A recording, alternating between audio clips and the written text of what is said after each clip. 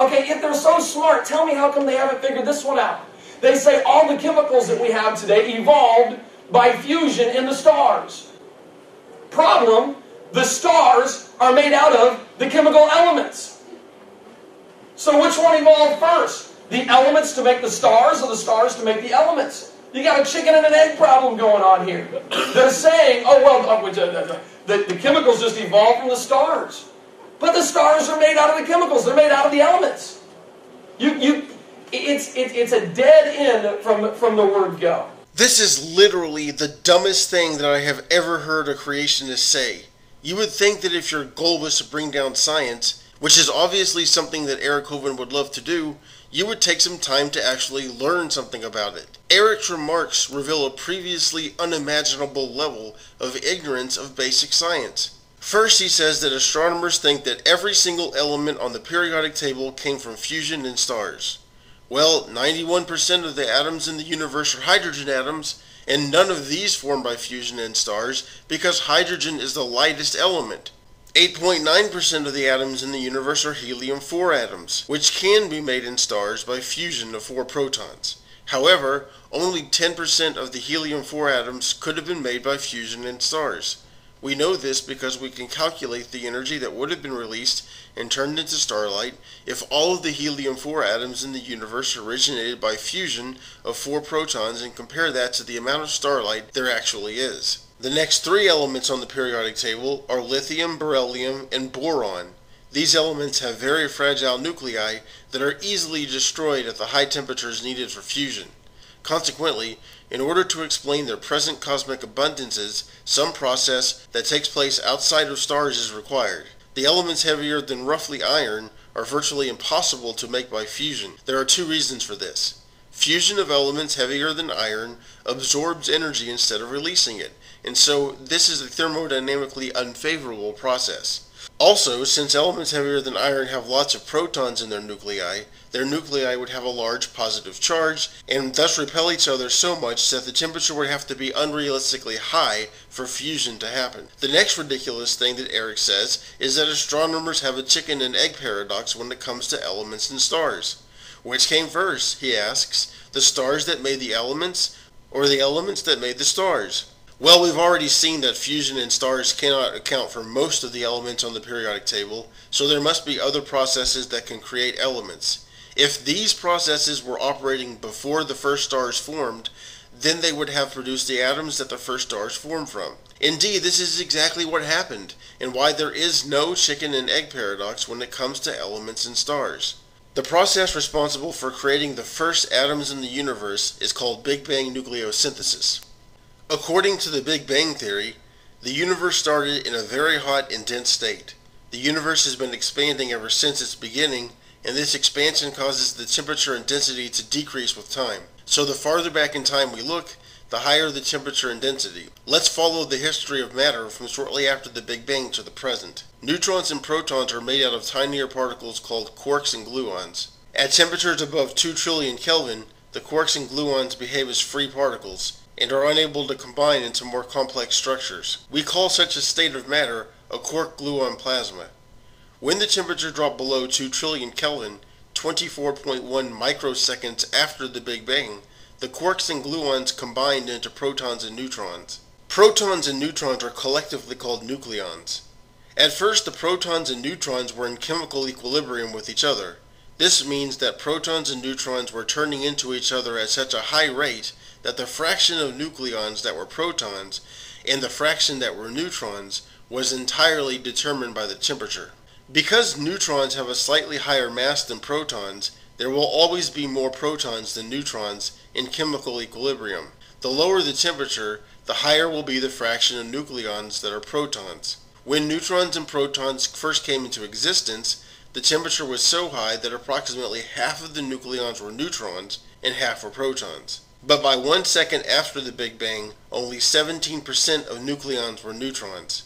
At this time in the history of the universe, the temperature and density were so high that particles called neutrinos were present in copious amounts. Neutrinos have very low mass and no electric charge, and they can only interact via the weak force. There are three kinds of neutrinos, called electron, muon, and tau neutrinos, and their corresponding antineutrinos. Also present at this time were electrons and their antiparticle partner positrons. Positrons have the same mass as electrons, but they have a positive electric charge. It was the electrons, positrons, and neutrinos that allowed protons and neutrons to turn into each other and thus to be in chemical equilibrium. For example, a collision between a proton and an electron could turn the proton into a neutron and the electron into an electron neutrino. A collision between a proton and an anti-electron neutrino could turn the proton into a neutron and the anti-electron neutrino into a positron. Similarly, neutrons could turn into protons by colliding with positrons or electron neutrinos. Isolated neutrons can also spontaneously decay into protons. The rate at which protons and neutrons turned into each other depended on the rate at which they collided with electrons, positrons, and neutrinos. This collision rate, in turn, depends on the density and temperature. In general, the collision rate is higher at higher temperatures and densities. So, as the universe expanded and the temperature and density dropped, the collision rates would decrease. Eventually, the collision rates would drop below the expansion rate of the universe, and after this time, the collision rate can be approximated as zero. The collision rate between neutrinos and nucleons dropped below the cosmic expansion rate 0.328 seconds after the Big Bang. We call this event decoupling of neutrinos. After this time, neutrons and protons could still turn into each other by collisions with electrons and positrons. But the collision rate with these particles dropped below the expansion rate after 1.15 seconds after the Big Bang.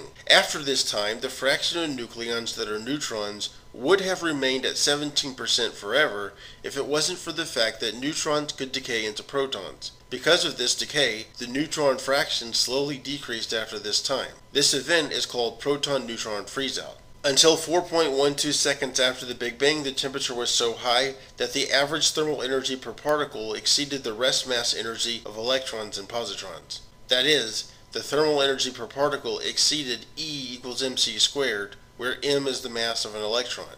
Consequently, electron-positron pairs were constantly being created. Once created, the electrons and positrons would eventually find their antiparticle partner and annihilate back into thermal energy. After 4.12 seconds after the Big Bang, there wasn't enough thermal energy to create new electron-positron pairs. All of the positrons that were created at earlier times found an electron to annihilate with. However, there were about 1 billion and 1 electrons for every 1 billion positrons. So after all of the positrons had annihilated, there were some electrons left over. This event is called electron-positron annihilation. At this time, the temperature was too high for protons and neutrons to stick together into atomic nuclei. But by 366 seconds after the Big Bang, the temperature dropped to 697 million Kelvin, and protons and neutrons could collide and combine into deuterium. Deuterium is the name given to the hydrogen isotope H2, which has one neutron and one proton. At this time, the fraction of nucleons that were neutrons had dropped to 12% due to neutrons decaying into protons. This meant that there was only one neutron for every seven protons, so six out of every seven protons would not be able to find a neutron to fuse with and would ultimately become hydrogen 1 nuclei. This explains why most of the atoms in the universe today are hydrogen atoms. As a side note, proton-proton collisions during Big Bang nucleosynthesis did not lead to fusion. This is because a bound state of two protons is unstable. It is possible for one of the protons to decay into a neutron so that a stable deuterium nuclei results from the fusion of two protons. However, this has to happen before the two protons fly apart, and the probability that such a decay will happen in the time the two protons spin close together is negligible. Similarly, neutron-neutron collisions don't lead to fusion. Once deuterium formed, it was possible to make heavier elements by fusion. Helium-3 could be made by colliding a deuterium nucleus and a proton, or by colliding two deuterium nuclei. Tritium could be made by colliding two deuterium nuclei. Helium-4 was made by collisions between tritium and deuterium, or between helium-3 and deuterium. Lithium-7 was formed during collisions between tritium and helium-4, and finally beryllium-7 was made during collisions between helium-3 and helium-4. Twenty minutes after the Big Bang, the temperature and density dropped so much that the nuclear reaction rates dropped to zero and Big Bang nucleosynthesis was over. Big Bang nucleosynthesis ended before elements heavier than beryllium-7 could be made. Tritium, which is the isotope of hydrogen with two neutrons, also called hydrogen 3, is unstable, and any tritium made would eventually decay into helium 3. Similarly, the beryllium 7 produced during Big Bang nucleosynthesis decayed into lithium 7. The end result is that Big Bang nucleosynthesis created five isotopes hydrogen 1, hydrogen 2, helium 3, helium 4, and lithium 7. How do astronomers know that the Big Bang actually produced these isotopes via the above mentioned processes? Because they can calculate the amount of each isotope that would have been made during Big Bang nucleosynthesis and compare the results to the observed primordial abundances of these isotopes.